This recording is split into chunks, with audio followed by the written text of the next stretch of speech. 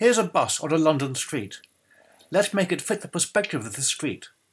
We'll go to Edit and Perspective Warp. We'll start by matching the first plane of the bus.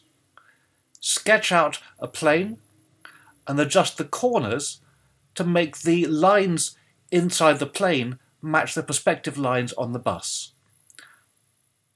And I'm being careful to make the right hand edge line up with the vertical pole at the back of the bus.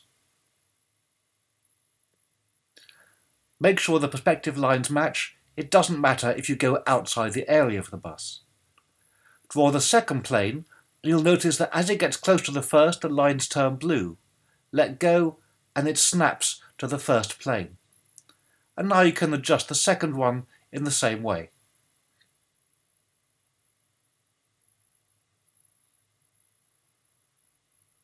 With the perspective plane marked out, you can now go into warp mode. Hold shift and click on two of the vertical lines to make them truly vertical.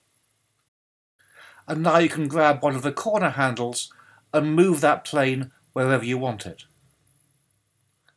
We can drag it further down the street